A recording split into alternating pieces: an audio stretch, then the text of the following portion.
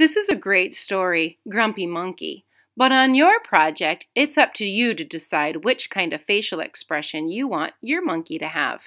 So to be, today to begin drawing out your monkey, begin out with a basic light drawing of, it almost reminds me of Mickey Mouse face in the center with an oval for the head, two large big ears, a branch for your monkey to hang on, and maybe some hands for him as well.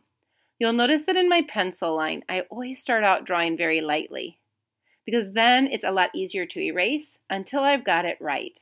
So start light with your pencil until you've got it right.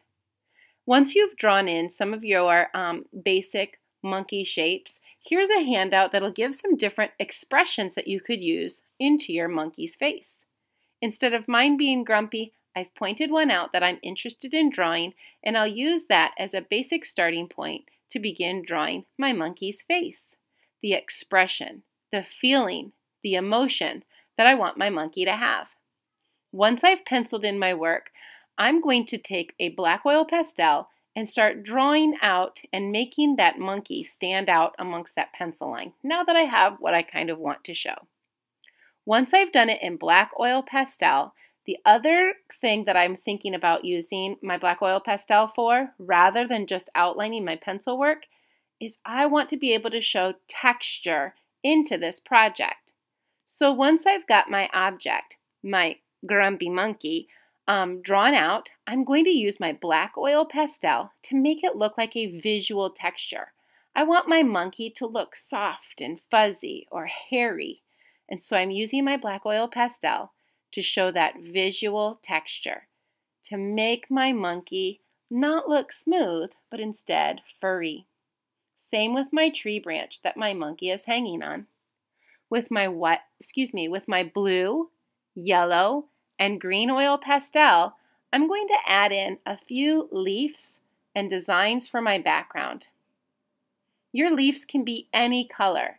It'll be nice for variety to show different colors of leaves so that when I paint over top of them, they'll look like different colors. I'm grabbing a brown oil pastel as well to make it look like some vines of the jungle that my monkey could be. Once I've finished using my oil pastels into my project, I'm going to take some watercolors now and start adding colors into my background. When I use my watercolors today, you'll notice I'm constantly going back from the water to the paint so that I can see the oil pastel shine through with my watercolors. If you put your paint on too thick and cannot see the oil pastel leaf that you drew, why don't you try either adding a little more water so that we can see the leaf through the paint, or you might want to try using a different color than in your paint to make those colors stand out. The areas that I've started using yellow, I thought that might show up some of my blue leaves, and so on and so forth. When I started painting my monkey, I thought my branch might be brown, so instead of using brown on my monkey, I'm using some orange. I almost feel like it reminds you of a brown color even though it's orange because that black has a tendency to make it look a little darker. So I used yellow for my monkey's face, orange for the monkey's body, and then I'm going to be using brown watercolors for the branch that the monkey is hanging on. Doesn't this project really look cool? I love the way the oil pastel resist is showing some of my visual textures into this project. I hope you had as much fun as I did. Thanks everyone. Happy art making!